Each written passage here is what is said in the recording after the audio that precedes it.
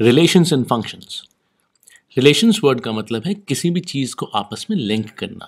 For example three is less than seven and twenty five is the square of यहाँ पे is less than and is square of are relations between two numbers सबसे पहला concept जो हम पढ़ेंगे वो है कार्टिशियन प्रोडक्ट का, जिसको समझने के लिए हमको ऑर्डर्ड पेयर और कार्टिशियन प्रोडक्ट ऑफ़ सेट्स को पढ़ना होगा। तो आइए देखते हैं ऑर्डर्ड पेयर क्या होता है।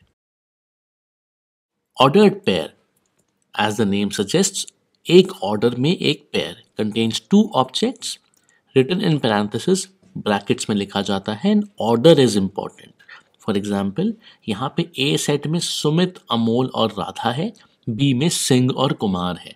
हमने यहाँ पे तीन एरो बनाए हैं। एक है सुमित से कुमार दूसरा राधा से सिंह और तीसरा सिंह से राधा तो यहाँ पे तीन ऑर्डर पेयर डिफाइन हो गए सुमित कुमार राधा सिंह और सिंह राधा।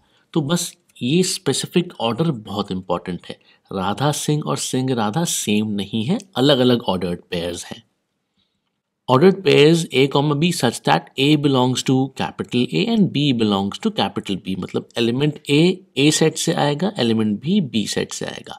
फॉर एग्ज़ाम्पल अगर ए सेट में वन टू थ्री एलिमेंट्स हैं और बी सेट में फाइव सिक्स सेवन एलिमेंट्स हैं सो पॉसिबल ऑर्डर्ड पेयर्स बहुत सारे बन सकते हैं।